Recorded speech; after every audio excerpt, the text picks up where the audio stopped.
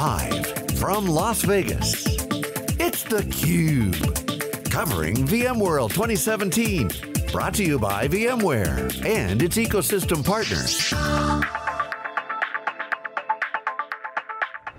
Hey, welcome back everyone. We're live here in Las Vegas. Behind me is the VM Village. This is theCUBE on the ground, live at VMworld. I'm John Furrier with Dave Vellante. Excited to have Sanjay Poonen, CUBE VIP, new badge is going out. Five or more times you get a special badge on the website. Chief Operating Officer, Chief Customer Operations as well at VMware. I think I won one of your Hoop Madness. What do you call those? Cube, Cube Madness. Yeah, that's Cube right. Madness. You one of them. win one of those. Yeah, One of those. You so won. Add won, that to came, the small came in list. second to the bot. Next year you won. We're going to check the algorithm on. That's before we had machine Yeah, we learning. So, uh, Sanjay, great to see you. Always pleasure, John and Dave. Great Thank you see for you, having me on your Thank show. you. So, you know, in, in fairness to the, the VMware management team, I got to say, great content program. Thank you. Um, usually you can see kind of maybe some things that are kind of a little futuristic on the spot, big time on the content. True private cloud, data that Wikibon reported on, you guys are right aligned with that. Hybrid cloud is where it's going for multi-cloud. You talked multi-cloud, the Kubernetes orchestration vision for cloud native, and even you are doing some interviewing on stage. Trying to be Anderson Cooper. So tell us what your, what's your perspective because you, you, you got a balance here. You got the reality of the Amazon relationship, front and center, delivered big time there, shipping, Western region, VMware on-prem and on cloud, and this new cloud native vector of orchestration and simplicity. What's yeah, I think, listen, from our perspective, as I described in sort of that one chart where I try to put it in Sesame Street simple terms that I like to describe, VMware is one of the most fundamental companies that had a incredible impact in the data center, taking more and more cost and complexity. We are the de facto backbone of almost everybody's data center. But as the data center moves to the cloud, you have to ask yourself, what's the relevance? And we've now shown, same way with the desktop going to mobile, and that's the end user stuff we've talked about in the last few shows. But let's focus on that cloud part. We really felt as people extended to the public cloud, we had to change our strategy to not seek to be a public cloud ourselves. That's the reason we divested vCloud Air and focused on significant things we could do with the leading public cloud vendors. As you know, Andy Jassy is a classmate of mine. Pat, Raghu, myself began the discussions with Andy two years ago, and we announced the deal last year in October. This year, having him on stage was, for me personally, a dream come true, and really nice to see that announcement. But we wanted to make sure we were also relevant to some of the other clouds. So earlier this year in February, we announced Horizon Cloud, the VDI product in Azure. Today, we announced Kubernetes, VMware, Pivotal, uh, and Google forming Kubernetes. IBM Cloud, so all of the top four clouds, AWS, Azure, Google, and IBM have something going with VMware or VMware Pivotal. That's a big statement to our multi-cloud vision. And what a changeover from just two years ago when the ecosystem was kind of like a deer in the headlights, not knowing which way to zig or zag. Do they cross the street? Where are we going with this? Now the clarity is very clear. Cloud and IoT and edge with Amazon right there, a lot of workloads there with multi-cloud. So the question I got to have you is that as we just talked to the Google guys, is VMware turning into an arms dealer? Uh, because that's a nice position to be at because you're now driving VMware into multiple clouds. I think, you know, I think when I did, when I was on your show last time, I described this continent called VMware and then bridges into, let me try another and see if this works. That was good, but it had its 12 month shelf life. Think about the top four public clouds as sort of Mount Rushmore type figures. Each at different heights, AWS, Azure, Google, IBM Cloud. In market share, they're the top four. If you want to build a house on top of Mount Rushmore, okay, it could work, but you're going to have to build it on top of one president's head. The moment you want to build it, you need some concrete infrastructure that fills in all the holes between them. That's VMware. It's the infrastructure platform that can sit on top of those very disparate levels of Mount Rushmore and make yourself relevant from on. So that's why we feel whether you want to call that a quintessential platform, an ARMS provider, whatever it is, for the 4,400 cloud providers, plus the top four or five public cloud players today, VMware has to be relevant. We weren't two or three years ago. Now, for the top Yeah. three, we're very relevant. I call it a binding agent. You're the binding agent Yeah. across clouds. That's where you're really trying to become. But I wonder if, you know, you're talking about the clarity. I mean, VMware's, things are good right now. Two years ago, was looking kind of, hmm, maybe not so good with license growth down, and now it's it's up. Stock double, prices uh, double almost digits. highest, yep. Stock price, okay, so I want to understand the factors behind that. You mentioned the clarity around vCloud Air and the AWS agreement, clearly. The second I want to test is the, the customer reality of cloud. That I can't just ship my business to the cloud, ship my data to the cloud. I got to bring the cloud model to the data. And then did that in your conversation with customers, those two factors lead to customers being more comfortable, signing longer term agreements with, with you guys. Is that a big part of the, the tailwind? I wonder if you could discuss yeah, that. Dave, I think that's absolutely right. One of the things I've learned in my 25 years of IT is you want to keep being strategic to your customers. You never want to be in a place where you're in a cul-de-sac. And I started to sense, right, not definitively, but perhaps two years ago, there was a little bit of that cul-de-sac perception as our license revenue was growing, particularly on, on uh, the, this cloud strategy. Are you trying to be a public cloud? Are you not? What's your stance versus VMware and uh, sorry AWS as one example? And with vCloud Air, there was a little bit of that hesitation.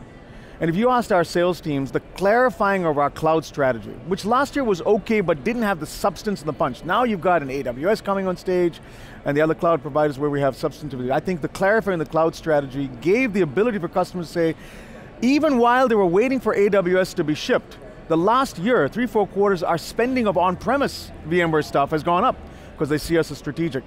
The second aspect, I think, is our products are now a lot more mature than they were before outside of vSphere.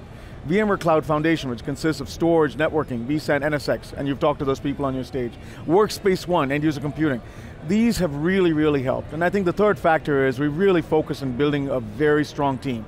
From Pat, myself, to Raghu, Rajiv, Ray, Maurizio, Robin. I think it's a world-class infrastructure So We just added Claire Dixon as our chief comms officer yes. from eBay. Got met her Met her last, last night. Listen, night, this, yeah. this is for us now, and everyone in the, the rest of the organization, we want to continue building a world-class, sort of warrior style strength well, in if you numbers. got- Quick follow-up, if I may, just a little Jim Cramer moment. And the financials are looking good. You just raised four billion of cheap debt, right? The operating cash flow, three billion dollars. And the nice thing about the clarity around vCloud Air is the capital expenditures, there's a very capital efficient model that you guys have now. And I've been saying, you can't say it, but to me the stock's undervalued. When you do the ratios and the multiples on those factors, it looks like a cheap stock to me.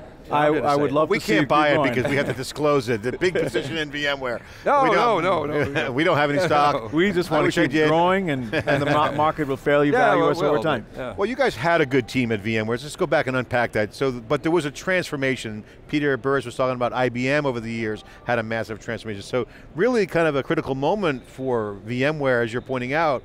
You had this great discipline, great technology, great community folks, still there now, as you mentioned. But that transition from saying we got to post a position, are we in cloud or not? Let's make a decision and move on. And as, as Dave said, good economics behind not having a cloud. But I saw our slide that said VMware Cloud. You can still have a cloud strategy using Amazon.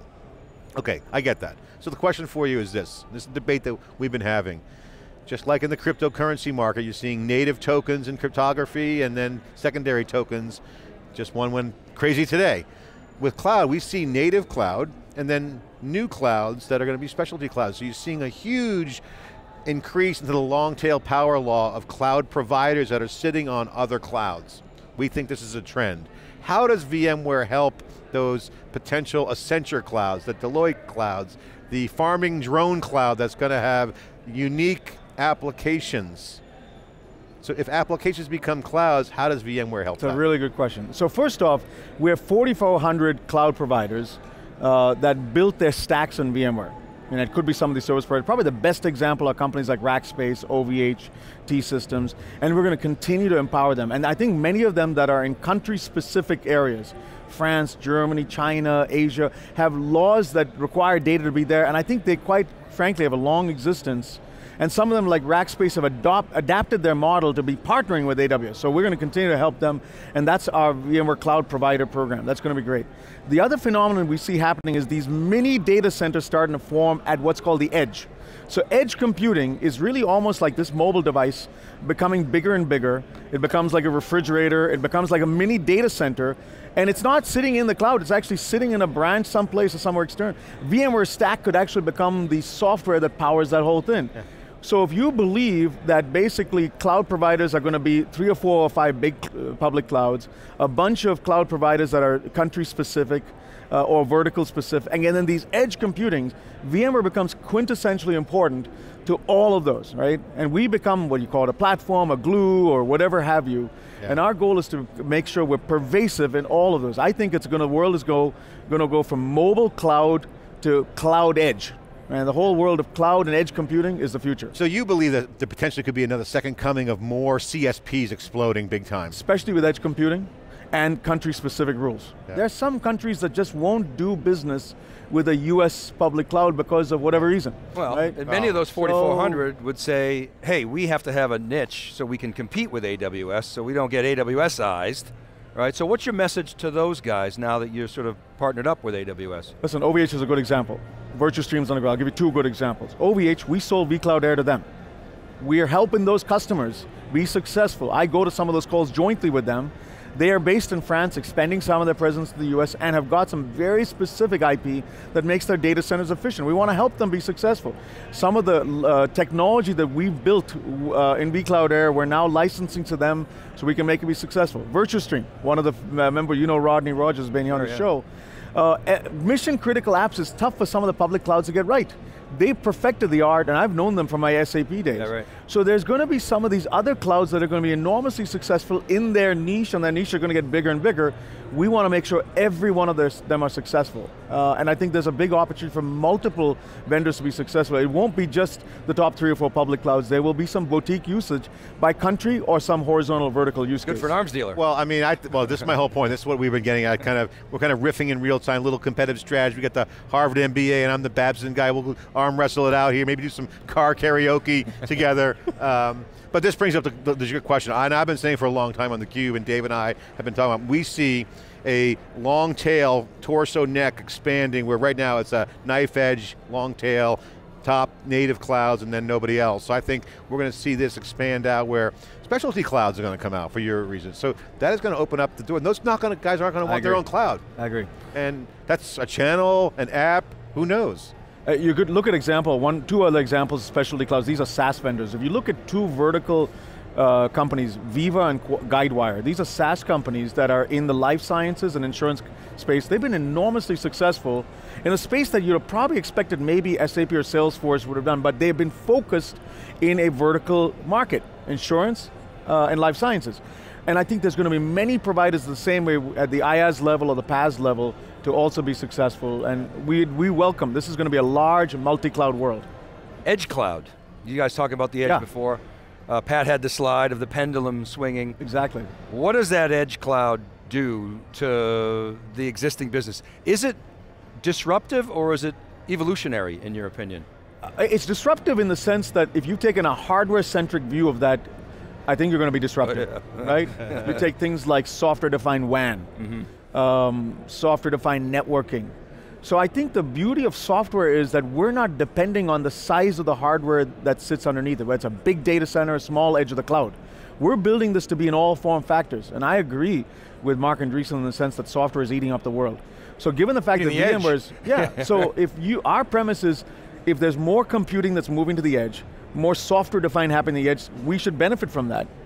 The hardware vendors will have to adapt, and that's good, but software becomes quintessential. Now I think the edge is showing a little bit of like, you know, Peter Levine had a, story about how cloud computing might yeah. be, you know, might be uh, extinct if edge computing takes off. Because what's happening is this machine starts to get bigger and bigger and sits in a branch or in some local place and it's away from the cloud. So I think it actually is a beautiful world where if you're willing to adapt quickly, which software lets you do, adapt quickly, I think there's a bright future as the world moves cloud, mobile, and edge. Great stuff, Sanjay, and I was referencing car karaoke you have on your Twitter, oh the carpool Twitter, karaoke. On the, on the carpool yes. karaoke. It was a fun on, little thing. Uh, Maybe we could do it together, three of us sometime. I, don't, I don't do karaoke. Uh, final. Just, just, sing, man. Just, just be out there doing your thing. I embarrass myself on the cube enough. I don't need karaoke to help there. Um, I'm in. Okay. All right, I'll do it. All right, final question for you. Um, we talked That's a deal. I'm, I'm prom Let's do it. Okay. Sometime. Final question. Michael Dellin, we're talking, the world's upside down right now. The computer industry has been thrown up in the air. It's going to be upside down, reconfiguration. You've been in the business for a long time. You've seen many waves. As the waves now are pretty clear. What's the fallout going to be from this for customers, for the vendors, for how people buy and build relationships in this new world? I think there's a couple of fundamental principles. I talked about one, software, let's not repeat that. I think ecosystems rule. It's really important that you don't look at yourself as having, you know, to own the full stack. You know, VMware's chosen to be hardware dependent. Yes, we're owned by Dell, but you've seen us announce an HP partnership here, right? You've seen us do uh, deals with Fujitsu. Uh, we had AWS Cloud and Google Cloud. So when you view the world, I love this line by Isaac Newton. He said, I see clearly because I stand on the shoulders of giants. And to me, that's a very informed uh, strategy to, to, to, to, actually guide our ecosystem strategy. Who are the giants in our space? It's the companies that are relevant with the biggest market caps. Apple, Google, Microsoft, um, uh, you know, AWS is part of Amazon, um, and then you know HP, EMC, Dell, so on and so forth. You list them SAP, by yeah. my, my, SAP. Yeah. We, if we're relevant to all of them, I'd love to see the momentum of VMworld and the momentum of reInvent start coalescing, right? Collectively, there's probably 100,000 people who come to all of our VMware vForums. Andy Jassy told me he expects 40,000 at reInvent. And maybe across all of his uh, AWS summits, he has 100,000. I was sharing with him an idea. Why don't we have these two amoebas of growing conferences start to coalesce where we mingle? Maybe 20% goes to both conferences, but we'll come to your show and be the best software vendor, okay? That hijacks your show, so to speak. I didn't use that word, but we become the best vendor and we'll roll out the red carpet to you. Now, we've got a collection of 200,000. We couldn't have done that on our own. Yeah. That's an example of AWS and VMware partnering. Now, it doesn't have to be exclusive to AWS, we could do it with another partner too. Microsoft doesn't show up at the AWS reInvent conference, we do. Right? Similarly, we could maybe do something very specific to Azure and, and VDI at the Microsoft event, or Kubernetes and Google. So for VMware, our, our strategy needs to be highly relevant to the power players in the ecosystem, and then guiding our software-defined strategy to make that work. And I think if we do that, you know, you could see this be a 10 billion and bigger company. Well, it says it's not a zero-sum game. That's what everybody wins. and if you can stay in the game, it, everybody wins. And I think right? in the software-defined infrastructure space, we like our odds. We feel we could be the yeah. leading player in that software-defined And it changes and reimagines the relationship between, you know, how people consume or procure technology because the cloud's a mosaic, as Sam Ramji was telling me oh, earlier. You had Sam on your show. I had Wonderful. him on earlier, awesome. and he sees the cloud as a mosaic. He's a fantastic thought leader in open source, and we, we were deeply grateful to have him at our yeah. event And today. Andy Jassy, your classmate and friend, collaborator, he was on stage, great performance that he gave. Yes.